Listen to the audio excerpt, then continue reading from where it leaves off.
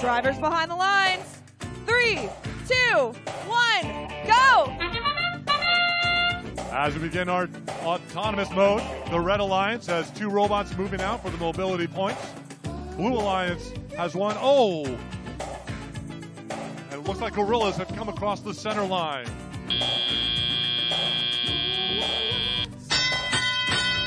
With that sound, we begin our teleoperated mode.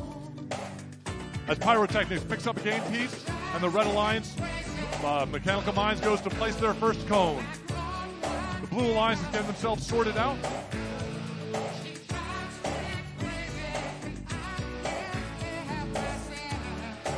Forty-eight twenty-nine going in to pick up a cone from the substation. Red Alliance placing another cone up on the node that just drops down, but they'll push that in in a few moments. Team Pyrotech heading over to drop their intake and pick up a low cone. As Ice Java looks like they're going to try to play some defense and keep that for themselves. Red Alliance has another cone. The Gorillas are coming with extending and going for the mid. Oh, they drop it, but hopefully they'll be able to push that in. Blue Alliance is loaded up with game pieces. Ice Java is trying to line up to get it to get a cube. As Avian drops one onto the midline. Blue Alliance coming up, pushing out another cube. Mechanical Minds reaching out and lining up with a cone. We've got 55 seconds left in this match. The Blue Alliance is leading by almost 30 points. Pyrotechnics drops it as they come over the speed bump, but they're putting out their intake to pick that one up in their community.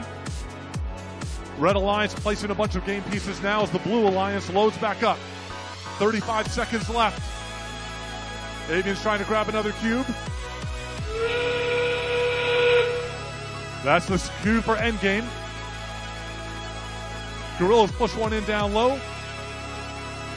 They're lining up on the charge station. Avian is in position on the charge station, keeping the ramp down for their.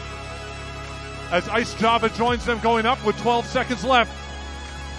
Can the Alliances get it balanced? Blue Alliance has a balance. Red Alliance still has two.